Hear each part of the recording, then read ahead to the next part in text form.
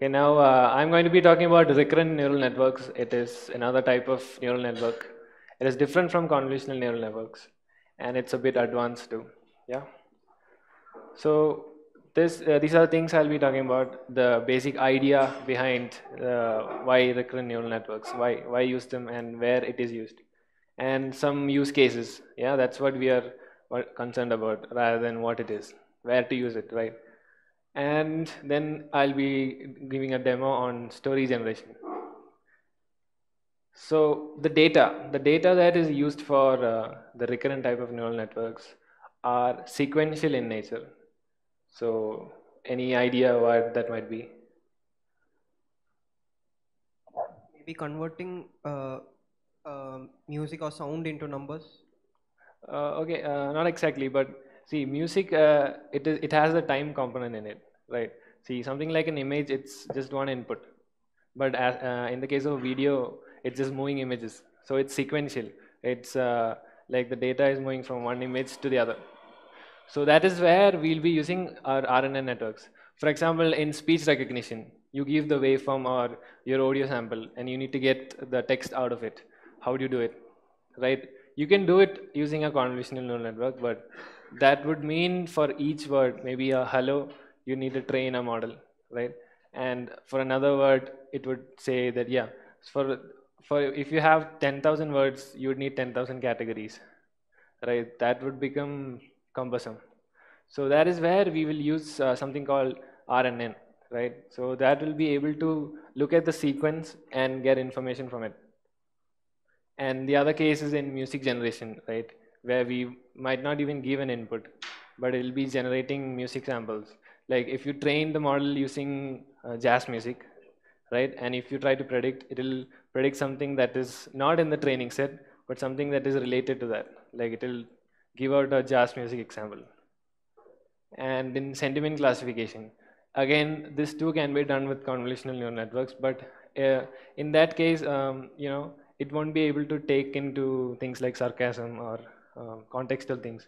Like uh, if I say the movie is beautifully bad, is it a positive or a negative thing? Obviously, you will be able to understand because we are humans, we have that knowledge. But a neural network will just, uh, if a convolution neural network or a natural language processing thing, it just looks into that and it just sees beautiful. Okay, that's a positive word. But if you're looking at the sequence, it is like beautifully bad. So yeah, that information is there. So from there, it'll be able to say, uh, give a rating and give a sentiment classification. Right, another thing is like you have your DNA sequence analysis. So there are four letters A, C, T, and G. So from the sequence, uh, the network will be able to predict what kind of a DNA it is. So these are the things where a convolutional neural network will be, um, you know, not the right option to go forward. So you'll have to use something that is better capable to handling sequence data. And in the, yeah, this one is the main one, machine translation. If you have used Google's uh, Translate API, you might have seen the NMT option. That is nothing but neural machine translation. So that is the state of the art right now. That's because it is able to understand uh, the grammar of human languages from looking at uh, hundreds of thousands of data right? So something from maybe 10 years ago might not be as good as what we have right now for translation, right? That's because of the advancement of neural networks such as these. And the other thing is name entity recognition, that is getting the names of entities from a text given. So that can be made possible only if the, lang uh, the model has a you know, understanding of the language structure and all those things. So uh, from these examples, you might be able to get an idea about RNNs, right? Like what, what it might be doing. Uh, can you, can someone guess when RNNs were invented? Recently? Just two years back, 10 years back? Five years. Actually, the first RNN paper came out in 1993. Yeah, and the LSTM paper came out in 1997. But why are they being used now? I'll show it with a meme. So the people in that era thought these things are useless because they didn't have the computational power that we have right now. And also because of the boom of internet, we have so much data to train on. So these type of networks are proving to be more effective in the era right now because of computational power as well as data. So RNNs, so they take sequential data and obviously they have a memory attached to it. Like uh, if you're looking at a sentence, right? So if it's uh, going to the fifth element in the sentence, it will have memory of what came before. That's uh, one directional. There is also bidirectional RNN, which have uh, memory to both sides. In traditional neural networks, like you saw in the previous session, it will have one input and the output, right? And these are not, uh, like these are, the outputs are independent.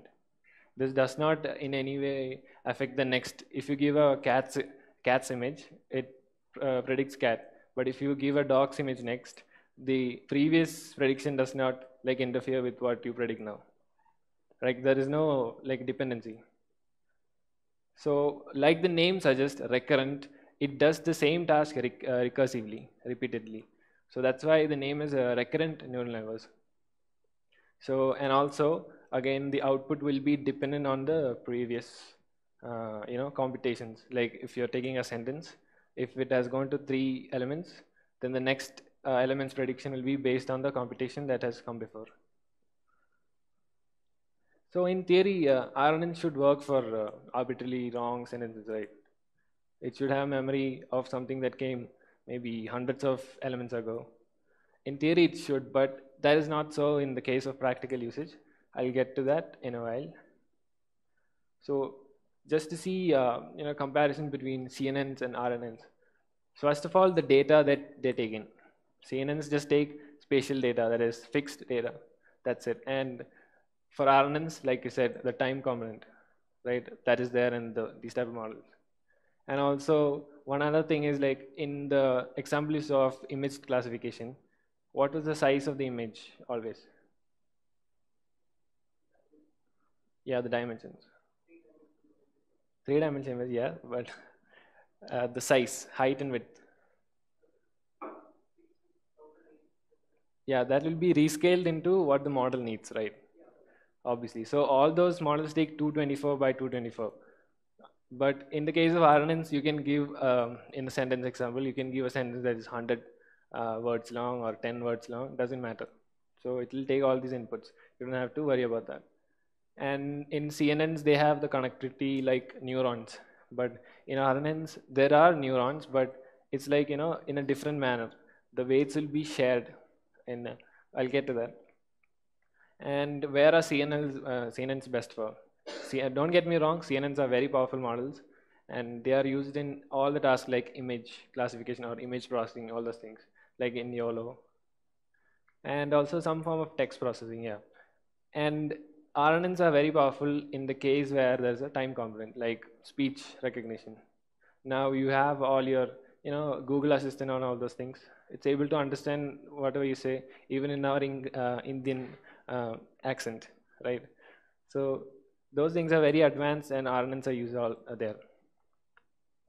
So let's get into the architecture of RNN. Uh, so this will be one unit of RNN, right? And it will have input xi, that is at time i, whatever input is there, and output at that time itself, at the time ti. And the weights wx, wh, and wi. Uh, do you know what weights are? Like these are the things that the, the model is trying to learn, trying to optimize. So in the case of CNN, each uh, unit will have weights.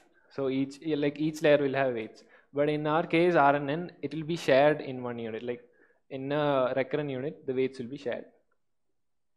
And yeah, the, these are the hidden units or the activation layers. Like you saw, uh, use a ReLU activation uh, TANH and all those things. So these are individual computational units or hidden units. So it will be better understood with an example. So when it's unrolled, right, when I'm giving an input cat goes meow. So the RNN unit will repeat itself. So at the first time, it will have input as cat as x1. And after all the computation, first time it will be getting uh, activation from the initially activation layer, it will be taking random values or uh, whatever you initialize it. Okay, it can be zero or random values. So when the first time it input comes, the computations are done and one output is given. So what you have to understand about this particular example is that our vocabulary consists of words like cat, uh, dog, ghost, all these things. Okay, and the uh, objective of this one unit will be to predict what probability or which word will come next. If I give cat, which word will be coming next? Uh, is that clear for all of you? Yeah. So if I give cat, it will give, uh, do the computations here, and I will get a list of uh, output like this for all the all the like elements in the vocabulary. So the word ghost will get probably a probability of 0.41. The mind you, this is after uh, during uh, like after giving training. So when you're giving training, when uh, maybe in the first step and all, it will be uh, giving wrong outputs or wrong probabilities. So the aim of the model is to bring the probability high for the uh, the word that is supposed to come, right? Is it confusing or okay? So so what is special about this is like uh, these weights are shared between all the coming layers.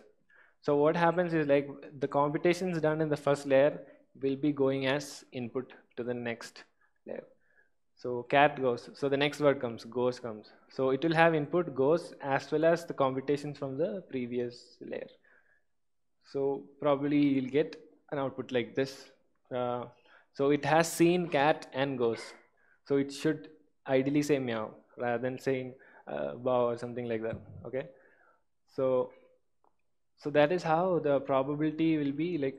So the aim of the model is to make the probability of the output uh, optimal. So that is what the continuous training will do. So what you have to understand is that the WI here and the WI here will be shared.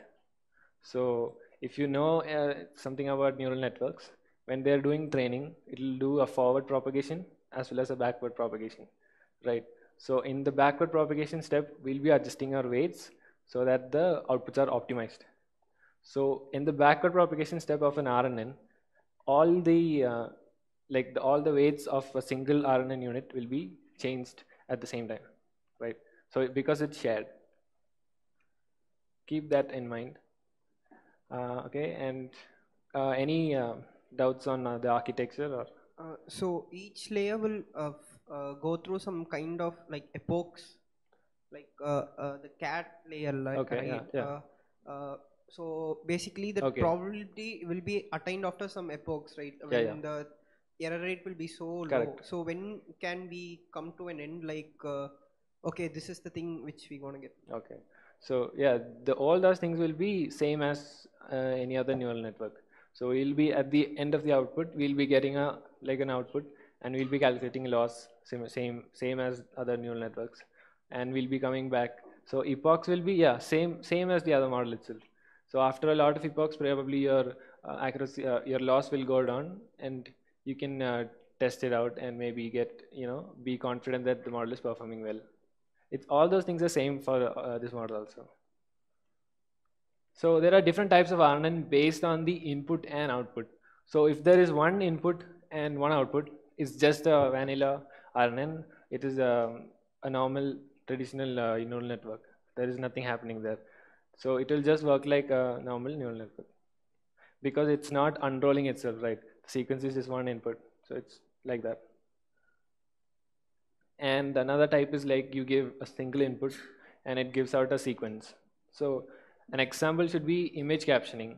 So in the previous uh, session you saw that uh, you'll be uh, i mean you know in the image classification you'll be getting class uh, the objects from the images will be classified. If there's a cat in the image there's a cat.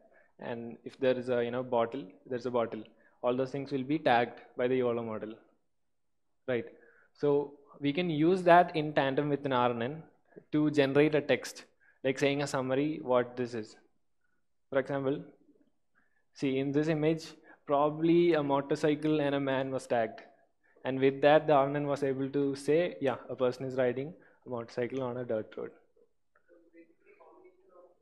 CNNs, yeah, correct. So in this there are dogs. so because there are multiple dogs, probably it said two dogs.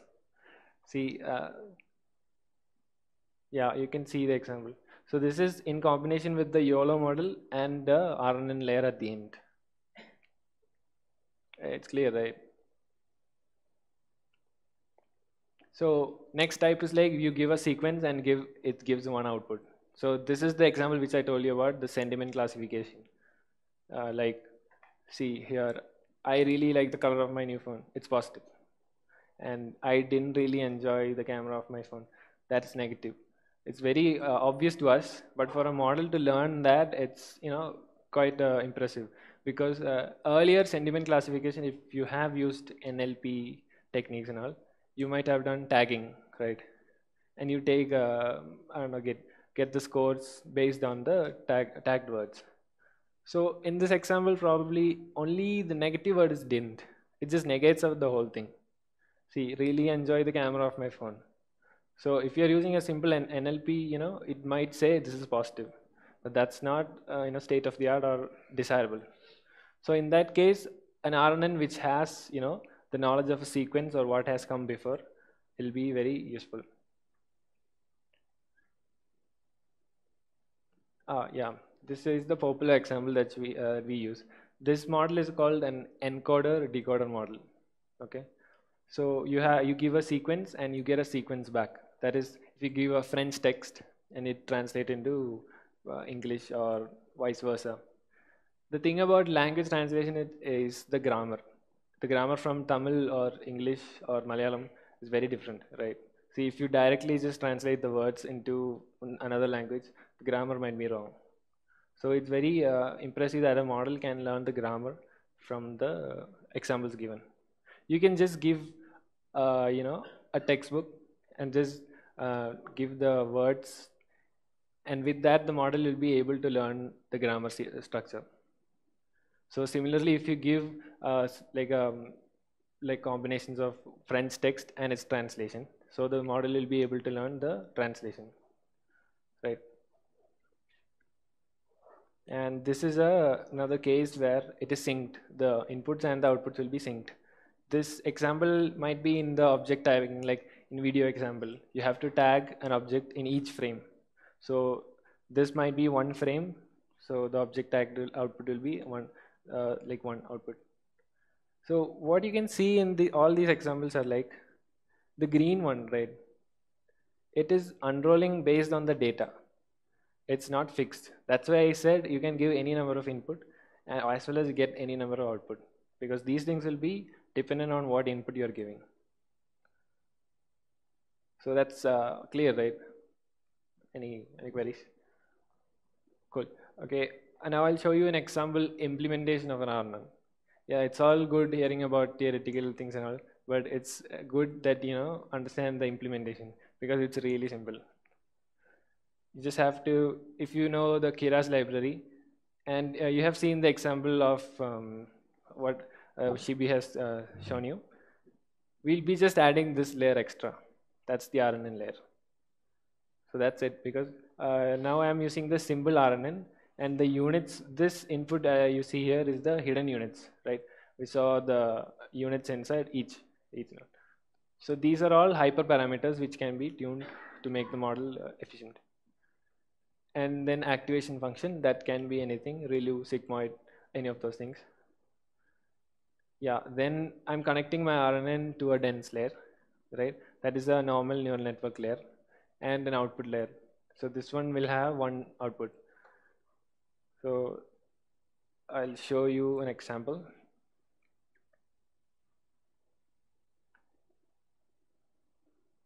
You're able to see the text, right? So what I've done in this is like I created a synthetic example. It's not a real data. So I'm creating a sine wave. Uh, so if I just run this, uh, oh,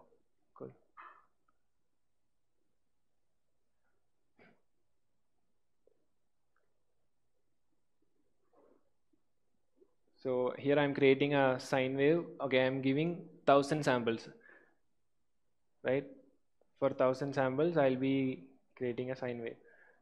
So as you can see, there are zero to thousand samples in the range of minus one to one. Okay, now this is not a good sample, so I'll add some noise to the set because uh, then only we can see if the model which we are going to make is performing well. Okay, this will be our input data. So from this, I'll be taking 600 as uh, training and the rest for testing. Okay, let's see what happens. So I'm just, uh, you know, so here as you can see 600, 1, 4. So uh, can someone tell me why 4 here?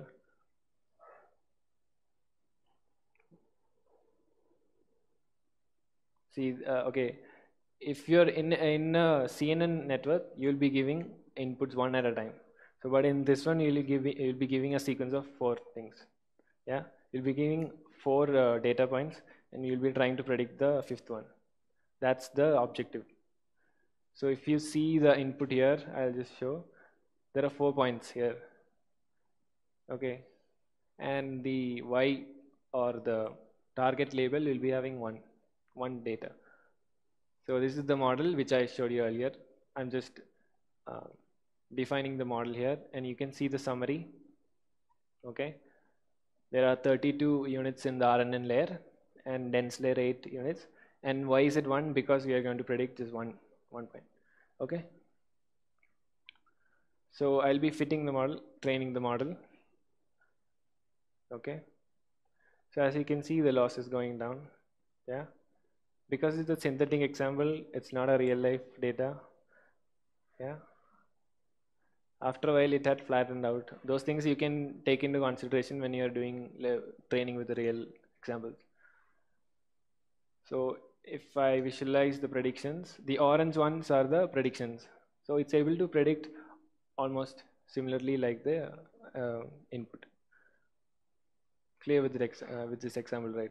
So you might uh, think that RNNs are like advanced or all these things, but it's when it comes to implementation, it's quite simple. You just need to know what it is and what the input you're going to give to the model then it will be uh, just the process of just calling APIs and making it work. Uh, the, the process of making it efficient is a whole another business. okay, so so I told you, right? In theory, you could give a long text and it should predict and it should work properly. So that's not the case because RNNs have a problem or a drawback. That's called vanishing gradient problem. So in this example, if you see uh, the this is the text given, the brown and black dog which was playing with the cat was a German Shepherd. So it's able to say it's a German Shepherd because of the words probably brown, black and dog, uh, dog. Yeah. So it will be able to predict. But between these two texts, uh, there are several elements coming in between. So while training, what happens is like probably here it's uh, it saw the example of black. And maybe here only we are uh, going to predict about the dog's breed okay? But in since i told you right we'll be sharing the weights. That is one of the thing about rnn so since the weight is shared it is seeing all the other examples here. So for uh, maximizing the op like optimizing those things it will be changing the gradients in such a way while training so what happens is that the gradients or the weights will approach zero. So the you know the relationship between this one and this one will get lost in the process. So that's the problem of vanishing gradient. So yeah, Brown when doing a forward propagation will not have any effect on predicting the word shepherd. Clear, right? So what could we do? I mean, what is the solution for this problem? There are some models called LSTM, long short-term uh, memory model and also gated recurrent unit.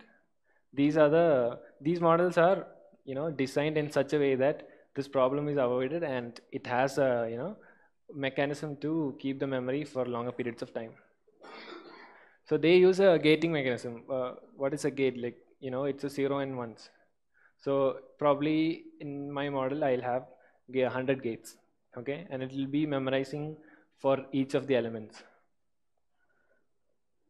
So in the normal uh, RNN, we'll have this line going through all the models. This will be the computation from one layer going to the next layer. Yeah. Then it'll be doing the computation and going to the next layer. What we have extra here is this line going uh, through the top. Okay, that's the memory cell that is shared between all the units again. So it is like a, you know, it's smart process. So if it sees brown, maybe it will set the gate as one, okay? And when it sees shepherd, since the gate for brown was set, it will say, okay, it's shepherd. It'll predict like that. That will be learned by the model, you know, after a lot of epochs. That's clear, right? Uh, shall I move on to the next thing? Okay. Is it clear or uh, are you guys blank? Clear, right? Cool. Okay. So now I'll be taking an example of language modeling. Okay, that is one of the like uh, you know good example or a good use case because it's uh, like I told you, NLP has been struggling with this for a lot of time. They maybe you know speech to text. That's a big example. We are using it in our daily lives. You'd say Alexa and, and to do it, make it do something. So their speech to text is used, and also conversational systems. Now dialogue, uh, you know, chatbots are coming up. You see chatbots everywhere don't you? Right? So these things, all these things need to understand our language which we are talking in. Then only it's useful. And also there is text summarization. You give it a long essay and you want a summary back. What would you do? Like for us, it's easy because we understand the language, right? So uh, if only a model is able to learn the, you know, uh, interactions or what happens between the words, like the sentence structures, the grammar, all those things are modeled, then only all these things will be possible. That is where RNNs are a strong, you know, point going forward. So what happens while uh, you're training uh, like a long text with RNN is like it learns which word will come next, and which uh, and which word might be in behind also because it's bidirectional. So with that, if you're able to like, if you give a five element sentence and if you're able to predict what comes next, there you have it. You have already achieved some sort of, you know, accuracy. There are different types of uh, language modeling. If you you will have character level. This type of models will be able to learn, you know, forming words, forming meaningful words. And then there is n-gram level that is taking, uh, you know, three characters or four characters, n-grams okay? Then you will have your sentence level models. So in these we'll be learning to you know create meaningful grammar sentences. Then there will also be paragraph level. Those are highly complicated models. So when we are training a language model you'll just give it a huge chunk of text nothing else. And based on the type of language model you're creating uh, it will map the probability distribution. So if you're doing character um, type of language model. What will be the outputs? What will be the you know range of data that it can predict? So if it's english language it's just 26 26 characters. That's it. So but in the case of sentence level model it will be complex because you know there can be 10,000 or 20,000 words. So the objective will be to generate uh, one character at a time for the character level model I'll be showing you an example of a character level model. So this will be what is going on underneath a character level model. So in this example, I have vocabulary as H, E, L, and O. That's it, okay? I'm not considering the whole range of uh, English language for this particular explanation slide. That's it. So here you can see H is given as input. So you can see the vector encoded as 1 for H and 0 for the rest. So in your activation layer, you will uh, will be computing some, you know, the weights and all those things like explained earlier. Those things will be same. And in the output layer, uh, the probability for all the words are given here. For H, it is 1.0. Uh, and for O, it is giving high probability. So when we are training this model, our objective is to make the probability of E or the second one higher so yeah, then these activations go into the next level. Yeah, uh, you're clear with this, right? What happens in a character level model? Clear, right? Any queries? Okay, so this is the example I'm going to show you. So I downloaded all the seven books of Harry Potter and just made it into a text file. So now we are going to make the eighth book, which is not there. Okay, uh, maybe parts of it. I'm being ambitious here. Okay, this is I used. Uh, I made this using an LSTM network. Okay, and this is and and some text processing was done. In books, you uh, usually see the words comma and all those things. Those are ASCII characters. So the range of vocabulary will be ASCII. So it will be 0 to 255 characters. So we'll have 256 total output sets. Like it will be trying input will be into 256 and output will be like that. So the training data, how it's given to the how it's given to the model is like I'll be taking a sequence of uh, 100 100 characters and I'll be trying to predict the next 101 character. It can be any number, you can train it. Those are again hyperparameters you can tune and be better along the way. So this will be, this is a very bare minimum or simple model. So let's see what it can do, right? So this is the model. Here there is an embedding layer extra. Uh, you don't need to worry about this layer. This is used for, you know, representing the letters, the input better. So when you're giving a word level model, right? So there'll be 10,000 words. And if, if you have an embedding layer, it will represent the word better rather than just giving a one hot encoder like you saw here. This is called one hot encoding. Rather than this, it will be giving a huge vector with you know better representation of the word with respect to all the other words in the vocabulary. And this is our layer, yeah. So this is the LSTM layer that will have 512 activation hidden units. And yeah, this is something extra, right? Can you guess what this might be? Sequen return sequences.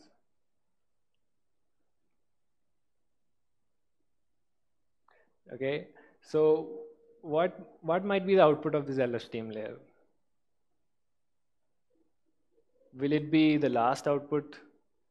Like, will it be this O or all these things or all these things? Bidirectional. Okay, if you give the return sequences as false, it will just return the last output from that layer. So this will be one LSTM unit. It will be doing all those things and from the output will be 1 if you, uh, if you give it as false. Okay? And if you give it as true then it will return all the outputs across the you know all the rec uh, recursions. And then I also made one more layer of LSTM the same thing. Then it's going to a dense layer. Now you can see this is time distributed. Why might that be uh, you know time distributed? Uh, here we are returning all the outputs, right?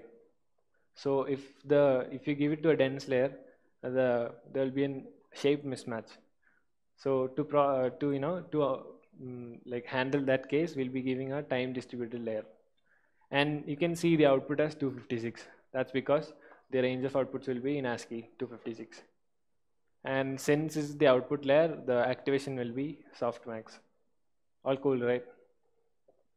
Okay, and now I'm going to compile the, uh, the compilation of model is done using uh, RMS prop optimizer.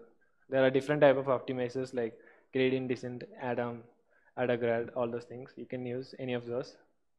And again, the, that's again a hyperparameter which you can tune to make the model better.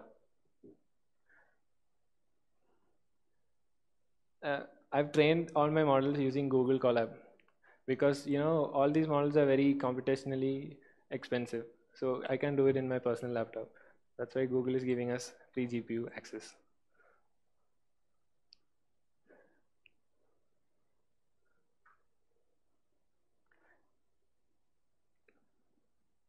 Okay. So the thing about this model is it even though it is quite simple, it will be computationally, you know, high uh, uh, expensive because of the data we're giving. Uh, as I told you, I'm giving seven books seven bucks that's how many characters i don't know. It's a lot of characters right? So even if it's processed in batches that'll take a lot of time if you're using just cpu so here i'm going to run the necessary library required. Okay so this is where i'm processing my input. So i've saved my input in my google drive. I'm taking it from there. Maybe i'll show you what the input is Okay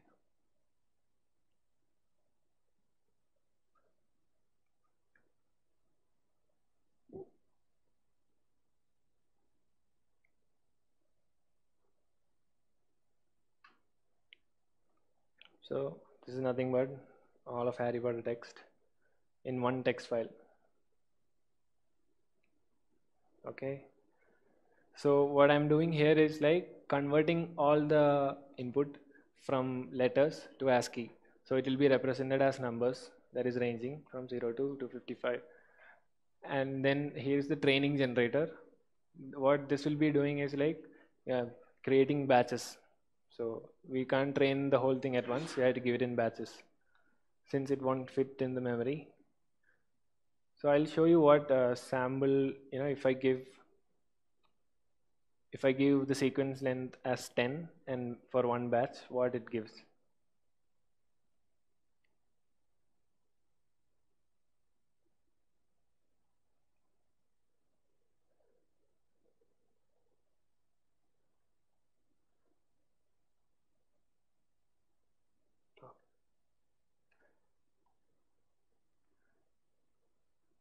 Okay, so this is the input sequence. This is not a good example. I'll just run it again. Yeah, it's having maybe this is the word visibility and C. So the next sequence will be like one step ahead. So the aim of this model will be to predict this character. So that's how it will be trained. So what I'm going to be giving for original training will be 100. The sequence length will be 100. So let me change it back.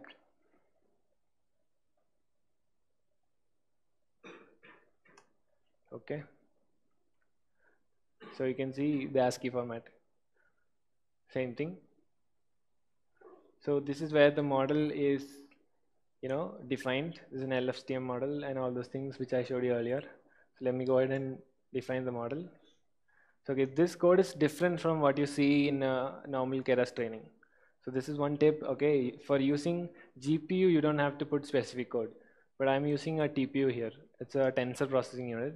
And this thing is like, a, it's good for huge batches of data. So it will take, if in CPU, if I tried training this, it might have taken uh, probably 1300 seconds for one epoch. Okay, this one takes just 80 seconds. So yeah, that's a lot of time saved for you, you know, for tuning your model. So if I train this now, it'll, you guys will have to wait probably one hour to see it work. So I've already went ahead and trained this model and I'll just load the weights here, okay?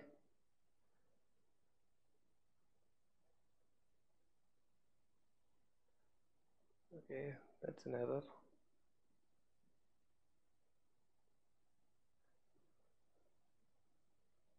Okay. Sorry about that. I'll just restart the runtime. There's some issue. See, the thing is, I used uh, APIs from TensorFlow 1.13, uh, but it might have, you know, after a while, I got restarted. So it re it went back to 1.14. So I'll have to change it back for my APIs to work.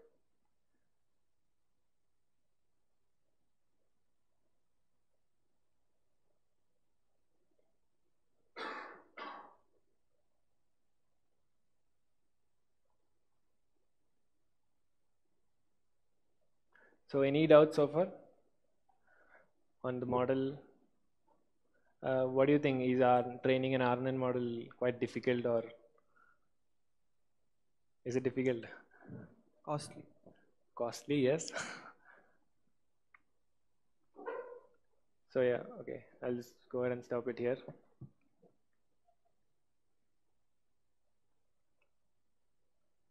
Okay.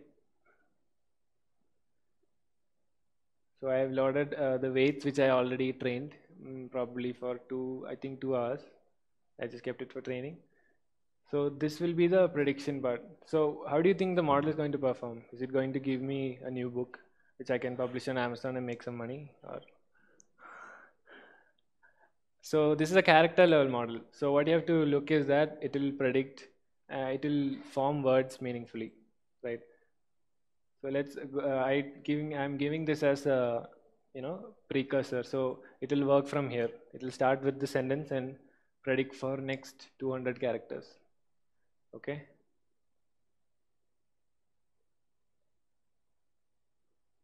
Let's see what happens. So Harry took out his wand and said, stripping to the. So you can see that it's creating meaningful words. It's not just gibberish.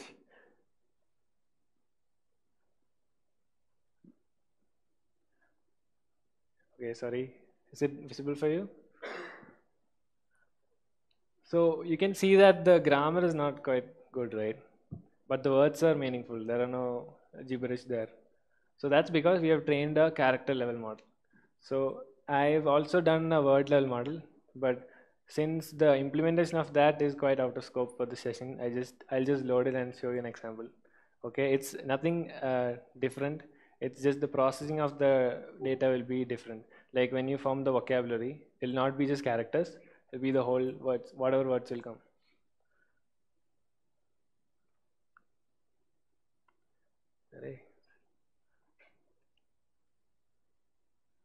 Okay, it's giving me an error. I don't know why.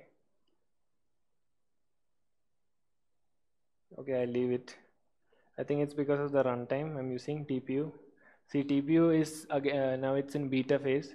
That's why the most of the APIs are not supporting it in TensorFlow also. So it will get stable and you'll be able to use it properly. Okay, I went ahead and did something else also. I took all the text uh, tweets of Elon Musk and trained a model, you know, that could tweet like Elon Musk. So again, the same things are repeated here. A text that is com uh, like combination of all the tweets. One extra step I did here is like I removed links that he might be using in his tweets because that will be useless, right? What is generating?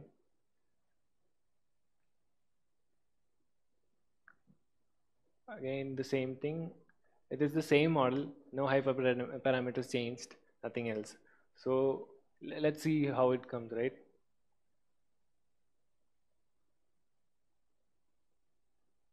This one also I trained for, you know, several minutes, several hours, actually several minutes, because I was impatient.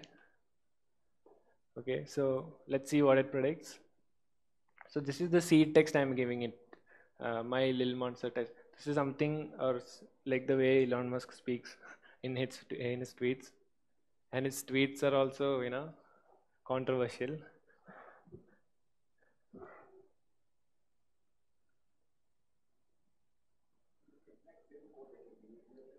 Yeah, different data. That's it. Yeah, so it's predicting my little monster Tesla Model 3 is the best selling luxury car on the road. No injuries or new feature. yeah, yeah, it'll give a different. See, what it does is like it'll take the input sequence and it'll be trying to calculate the probability for the next character, right? So the probability of character will be taken from a whole in a 250 letters, so it will change. Yeah, again, it's saying my little monster Tesla Model 3 is the best. Hell less reliable, and he's tagging some people. There is successful launch from Paddy. Retweet Elon Musk. You know, maybe I can make a fake account and tweet like Elon Musk. okay, uh, that's it for the demo. Any you know any doubts on how the model is created or on the implementation?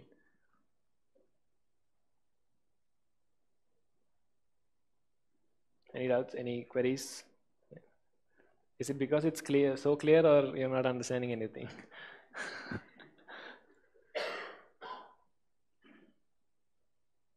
okay, one another like uh, you know a beautiful use case for RNNs can be, you know, you can generate music. Right, there is even a company which uh, signed a label that's creating music using machine learning. That's where we are headed, guys. You're all going to be replaced. Okay, this this one is like uh, it's a Google experiment. So if I play something, sorry, the volume is down.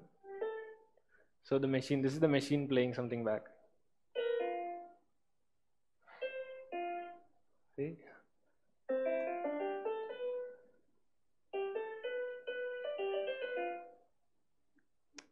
See if someone knows music here, yeah. So it's not completely bullshit, right? It's trying. Uh, no, I mean it's coming out good. So yeah, uh, that's my presentation.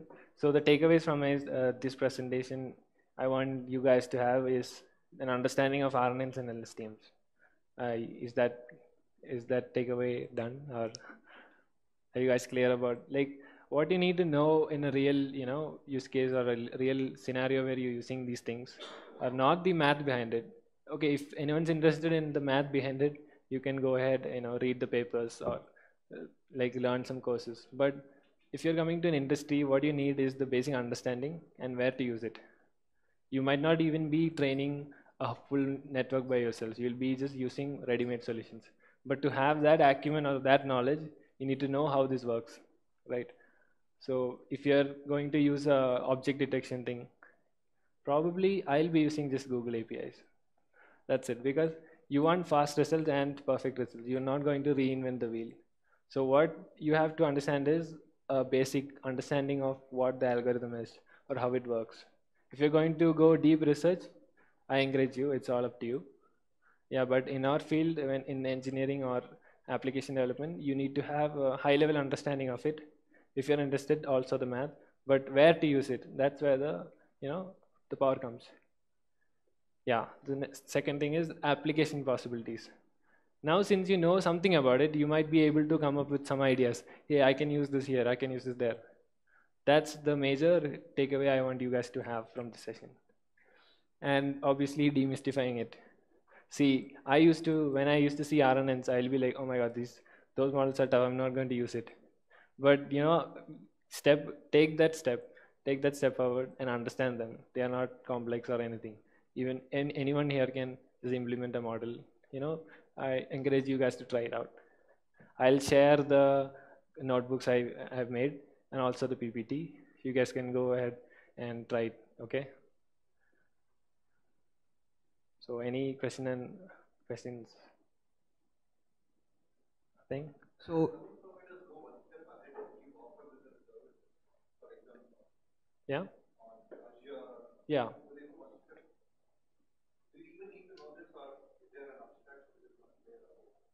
Yeah there is an abstraction one layer above. So if you're using apis you'll be just uh, you know there are different types. In google there is an AutoML thing right now. So you just need to give data and you just need to give clean data and just all the model algorithms everything will be formed automatically. But the thing about this is like even yeah even azure there are solutions that are ready made but i think there is an option for giving our own custom models as well. Okay so all these things are there. And the thing the power they have is data. Google has a lot of data that none of us can get our hands on so that's why their models are very accurate and you know used used by everyone. So uh, does that answer your question? Okay. Correct. Okay. Yeah yeah. That's also fine. But I'll tell you what the problem is there. Okay, so you're giving uh, maybe a translation, right? You will be giving the data, right? Even if you're using the API, you'll be giving the data. So if you just think it of as a black box, then if something goes wrong, you'll be uh, going back to the data and fixing it. But to know what is going wrong, you need to know what the algorithm is underneath, right? You can use it, but to understand or debug the problem, you might need to know even uh, like a high level knowledge on what's happening right not even the math just a high level thing what's going on anything else guys nothing okay so yeah that's been my presentation i hope you guys liked it uh, you can connect me on linkedin or anywhere else and if you have any like doubts or queries on any application you're doing you're welcome to connect with me Okay, I'd like to thank ThoughtWorks organization team, uh, you know, for giving me this opportunity and Shibi. Yeah. And thank you all. You've been a good audience. Thank you.